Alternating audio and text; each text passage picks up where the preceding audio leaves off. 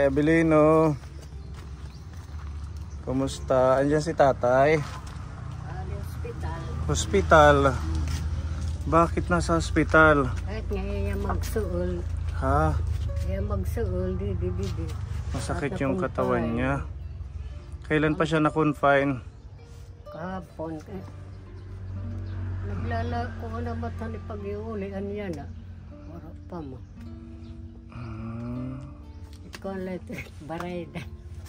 Pag Lagi na lang siyang naku-confine. Ano? Ha? Ano kung ito yung inaabat? Ito kaya sa wad? Di, di, di, di, damo kaya. Marami siya. Nasa hospital daw pala na naman. Na-confine. Kahapon pa? Oo. Ano kaya nangyayari kay tatay? Ba't pabalik-balik na lang siya sa hospital? Sino ang kasama niya ngayon doon? Yala. Wala siyang kasama. Hindi. Ha? Di man din pwede bayaan kahit mga manok. Oo, hindi daw pwedeng iwan yung mga manok nila. Walang mag, ah, ano, Ang pangawaton. baka daw nakawin. Kahit kapatulog nga, may daurupat lang mga bagong tubo. Litawan. Ah, Akad to dito. may mga tao kahapon. Kinang, kikinulaw dito. Tinitingnan yung mga alaga. Wala nakiilog. Kinagto. Ano? Oo, pupuntahan mo doon. Baka kunin nila. Yung at kanan, padadakop ta ka mo. Sinakon, paya la. Mm. Nakulaw la kuno kami. Paya ha, basta ka mo. Padadakop ta ka mo. Baka may balak na kunin yung manok ninyo. Kaya so ganun ora, ano, tao din. Eh. Makakakuan. Ang ano lang sana, kaya kami napunta dito yung sa galon ng tubig nyo. Tubig. Meron pa or naubos na? Meron pa. Eh, Yung walang laman, dalhin na namin. Isa. Okay, sige, para maripilan. Yun kasi ang ano ni Tita Mayang na maripilan bawat empty na container nila. Para yung tubig nila hindi nila po problemahin. Puntahan mo kaya si tatay. Mamaya pag natapos sa mission natin, mga hapon na. Mm, para makumusta. Pag hindi pa rin nagbago yan, i-ano na lang siya, i-dalhin sa Sa Tacloban, yung sa endoscopy niya. Kasi pabalik-balik din naman, ganun lang lagi yung mga nararamdaman niya. Na lang natin mamaya. Pero nabilhan mo na siya ng gamot, ano? Oo, nabilhan. Yung maintenance, Mm-mm. good for... Ano yun, mahigit isang buwan yung kasi ano yun, 100 tablet yung binili ko. Yung sa high blood. Oo. 100 tablet. Tapos may natira pa sa yung pondo na... Yung sa one- 100 tablet na amlodipine kasi pinabalik lang daw sa kanya ng doktor at saka 100 tablet na Mm, na losartan. Tapos yung iba hindi na kasi yun nga yung sa pinababalik siya nga yung sa pag ah, follow up check up niya kung ah, ganun pa rin daw yung kanyang ah, resulta yung sa pag-inom ng gamot. mm. Pag ganun pa rin, i-endoscopy na daw siya. I-refer na po siya sa Tacloban. Uh, pero meron pa tayong pondo dyan sa'yo. 2,000 po yung natira po. Oo, sige, sabi ni Tita Ray, i-save muna. Madala na lang sa Tacloban. Sige po. Mamaya alamin ko po mamaya. Oo, pupuntahan natin. So mag-isa ka lang dito. Hmm. Oray ni mo, pwede ka na hadlog. Alright din, he. Kawawa naman ni tatay. Pero minalahiya masinakit nun, ano? Ha? Minaman. Pero minaman lang. Tiyat kuhan mag, ano, magsuol. Yung mga didi. Marami siyang masakit na nararamdaman.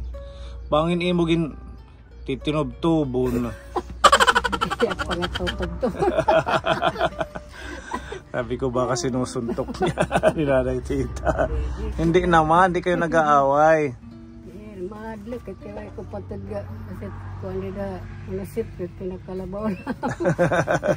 Magpagpatura. Mm, so ito yung walang laman, ta- nanay. Lang. O yung tatlo may laman pa. Dadalhin namin to para ma-refillan namin. Ano? Di ba kami taglili na ako. Naalog man lapit. Gagamito sa pag-aan. Pag inom ulit. Oo, pang inom lang to. Tsaka Yung- pang, ano ng sabaw sa sinaing. Sinaing, pwede din. Inom kayo ng inom ng tubig. Huwag kayong magtipid kayo napakainit ng panahon. oo. Madidehydrate kayo pag hindi kayo nagiinom ng tubig. Lalo na't kagaya niya, no? Grabe ang araw. Sige, pupuntahan namin si tatay. Alamin natin kung ano yung magiging advice naman ng doktor. Halos linggo-linggo nasa hospital siya. Hinulat ako din. Nasa ano na. Buwa na. Kahapon lang siya na-confine. Hmm. Hindi pa yung papalabasin kung kahapon lang. Hindi pa yun. 3 days na naman yun. Ha? 3 days na naman bago siya palabasin. Mm Ang problema yung pambayad. Kasi pambayad. Saan ba siya nakaano? Sa probinsyal? Sa Burungan doktor. Siguro. Private. Ano, ha? Bila, Yung dati. dili. Bordo. Sa amin Private. dida. Mara nagdida adit dida. Tak panigo adit ta bordo. abordo? So wala siyang kasama, siya lang yung nandun. Walang nagbabantay. Di man pwede bayaran din. eh. Yung-. Pupunta ka na lang doon kay tatay saglit. Hmm. Oo. Isatahin mo siya. Yung ano, yung kasama niyang pamangkin niyo ba yun? Joy. Si Joy. Oh, enjoy. Oo.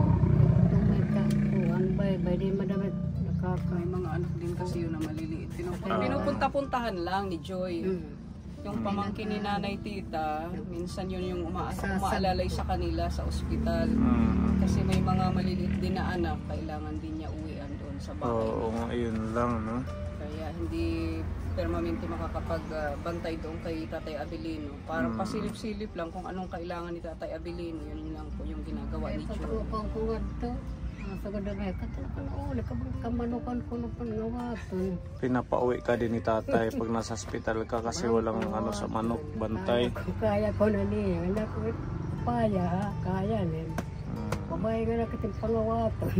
Ano ba, grabe ba? Grabe yung nararamdaman niya nung nagpadala naman siya. ko an, masyado. Ka, ang sabi nga niya, uuwi na ngayon. Pa, managinulat ako pa. Hindi pa yung palalabasin. Kasi, Kasi, kahit kasi maganda na yung pakiramdam, kahit kasi pa maganda ng pakiramdam ng pasyente, kahit dalawang araw na, na nandiyan dyan, naka, naka-confine, Mm. ang uh, rules kasi dyan sa private, kailangan every 3 days para na uh, kukuha nila yung sa PhilHealth. Mm. Yung, ano Eh di ba nagamit niya na yung PhilHealth niya? Oo, nagamit na yung PhilHealth niya. Hindi ko alam kung makakagamit pa yan. May limit lang yata yun. Oo, hindi ko lang po alam. Ang gagawin niyan, maglalakad dito sa DSWD para yun ang ah, magbayad sa na magagastos ni tatay ngayong ah, confined siya. Mhm. Inaraw-araw na ni hospital. Siguro di kahit nasusuro, subarahiya. Mm, sumati. Hindi ka nagsasawa, pabalik-balik sa hospital, sabihin mo. Pagsawa. Hindi naman. Oo, huwag niya nang ano, indahin yung sakit. Bawat ano, kasi every time na magpapadala ka doon, kung hindi naman ganun kagrabe, magbabayad ka. Private doctor pa man din. Andad to pa, ano na pang panahon. Oo. Kung may tito na yan, parang inom. Nag, Ah. nagta- nagtatrabaho, nagkukunin siya baras, gravita. Oo. An, an kwarta kong taging tutanganam. Ano yan naman, nauubos. Dito niya mga barkada. Ano Mm. ako naman, nagagamit din ng pagkaunam. Hindi mak nagagasto, bisan Nagagamit niya sa barkada niya. aklaman na inihi. Oo, ganun po pala. Sabi ni nanay tita, dati daw nung medyo bata-bata pa si tatay Abelino, nung nagtatrabaho siya sa paggagraba. Ano na din na balay, pinanaano na. Oo, tapos pagbubuhangin, nagbubuhat siya ng mga ganun. Tapos hinahati daw ang sahod niya, yung kalahati binibigay sa'yo. Yak naman na uli kontak kita bye-bye wan.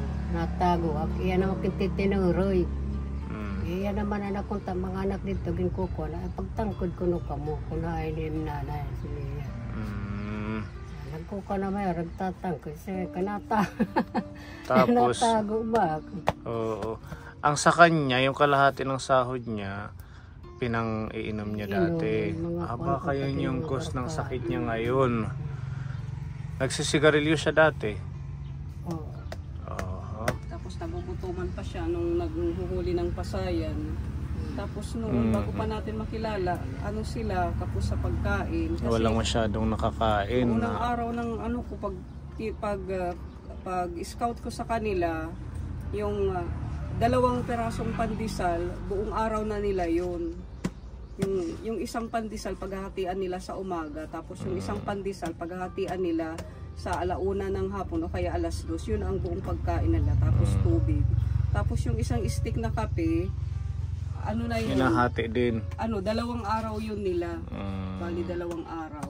Tapos pag may kamuti sila dito, yung kamuti na yun, yun yung pinakapagkain nila. Mm. Bihira lang sila noon makabili ng bigas pag nakakahuli ng mga pasayan, yung mga crabs. Kaya baka kus din yan sa Kumbaga, pagpapalipas gutom. pagpapalipas ng gutom. O, at saka yung lifestyle niya dati. Mm-mm. Tapos yung Nag-iinom, nagsisigarilyo pala si Tatay Abilino. Tapos nagwawala. Ah, nagwawala siya. Nagwawala si...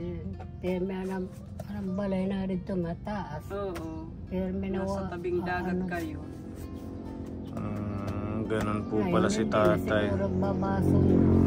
Ngayon kasi ah, matanda na siya. Sinisingil na siya ng ano, mga karamdaman kasi kung hindi mo ayusin yung lifestyle mo nung kabataan mo ganyan. Saya na magnasagad eh. Ano? Ano yung bibinota noon? Ano man yan? ah? Ay naku no eh. Kanto pa eh. Ay naku no pag binanggita. Anak ka nagkukonggadla. Mm, yan ano pala. Sabi niya ni Nanay Tita na dati daw eh paisigulaki lang siya. Ngayon, ito na ang kanyang kalagayan, yung kung ano-ano ng mga nararamdaman. Kaya din pala, no, nasakitin siya ngayon. Kanan ano na siguro. Baka ano din yan, Ate Robis, si OPD. Mm. At pag ininom niya, waray pagkaangkaon. Yung oh, nagiinom na walang, na hindi kumakain. Oo. Baka yung pulmonary disease din. Mm-mm. Mga bisyo-bisyo ng kabataan. Baka kasama yan sa chronic obstructive pulmonary disease yan eh. Mm, parang si Tatay Bernardo, yung namatay nating tinutulungan, si Tatay Rinaldo, si Tatay L- Leo. Li, ah? Tatay Leo. Leo Diga. Ah, Mm, Tatay Leo Diga. Yan pala yung mga sakit nila pag tumatanda. Kaya huwag magbibisyo. Pepa. Kaya yakabot. Ayaw pag ininom ha. Ano lang sa aking tubig. Yan, very healthy yan. At saka buko juice. oh. Yun lang. Oo, tapos pwede naman kape. Wag yung mga 3 in 1. Dapat yung black coffee na lang or green tea. Hindi ako mahilig sa 3 in 1. Oo, wag yun. Si Ate Robby mahilig. Hilig. Yun lang ako ang bisyo sa buhay ko, yung 3 in 1. Walang. Oo, buti hindi ka naging acidic. Hindi naman awa ng Diyos. Kasi ma, ano ako sa tubig eh. Ah, yun, di Mainom ba? ako sa tubig, oo. Maganda yung- sa 3 in 1. Tapos hindi ako mahilig sa soft drinks. Siguro kung mahilig pa po ako sa soft drinks at saka hindi ako pala inom ng tubig, posible po acidic po ako. Ah, at saka magkaka-UTI. po. At saka hindi po ako pag yung mga sausawan ng tuyo suka, Mm. hindi po ako mahilig ng mga sausawan kaya siguro parang nababalansi na lang po. Mm. Ganun po. Sige, pupuntahan na lang natin Ate Ruby mamaya. Mamaya pong hapon pag natapos yung mission po natin. Mm. Ah, pero uwi daw siya ngayon. Kataniya. Ano bang sabi niya? Paano nyo nalaman na uuwi ngayon? Kay si Mania ano, si. Ah, ang sabi niya lang sa'yo na dalawang araw lang siya. Hindi, hindi naman ganun yun. Ang doktor ang magde-decide. Bangin oras ko ng doktor. Mm. Kaya, Sige. Sigurado yun nasa Bordok. Hanapin na lang namin siya doon kaya pagkatapos namin mag-mission. Oo. May mga ano na, may mga itlog na yung napisa dyan. Ay na, nagbagong itlog. Sa Patrick. Oo. Dadalhin namin, ipapa-incubate natin. Ano, para mapisa. Kasi, wal, Mm. Sarad lang. ikaw. Mm, Lagayan. Ano na lang sa Plastic. plastic. Ano pa pa? Plastic. eh. Plastic na na lang. Mm, plastic na lang. I-incubate natin para dumami yung mga sisiw niya. Tingnan nga natin yung manok niya. Baka may nagnanakaw, may ano daw umaali-aligid. Kaya hindi siya umaalis si nanay tita.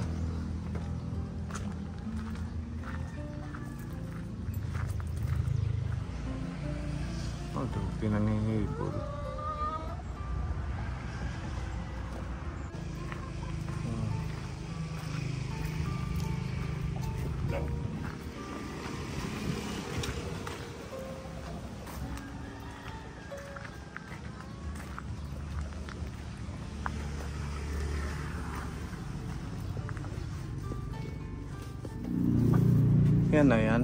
Mm. Waray. Yan tong tangkal waray.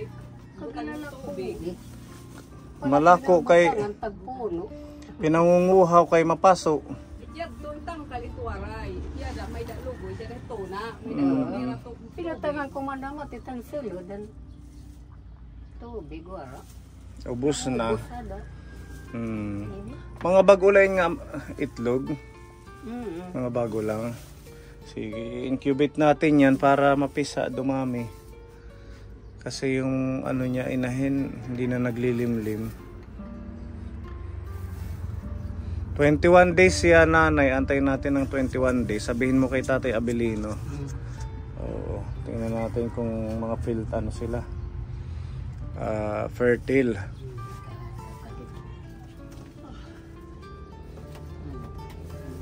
Hindi mabasag, Pepa. Okay naman. Ito yung mga gamot niya. Ah, nanay. Mm. Sa tiya gamot losartan.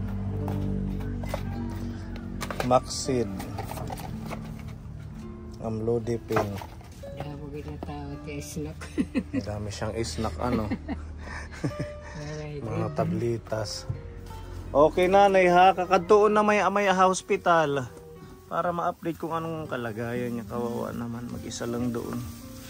Wala man lang kasama doon sa loob ng hospital. Siya na dito ng tambalan. Ha? Lagas niya dito ng tambalan. Ah, oo, langis na may kahoy. Galing daw sa manggagamot albularyo, ganon. Mm. Anong ginagawa niya dito? Iniinom? Hitik sa kutsara. Ang isang kutsara. Mhm. Sige, mabalik na lang kami. Mm-mm. I-update na miya pupuntahan namin sa hospital. Okay, yan ka po ni babalikan natin si Nanay Tita. Naala rin niya burdok bagay na ada. Unahin namin sa Burdok. Hmm, bagay na ada ka di damit siya ka. Di da madamit siya na kada madamit siya. Pag wala sa Burdok, nasa provincial hospital yun. Pero Okay. taktigo ada ta burdok. Mm. Ihatid na lang namin yung tubig mamaya.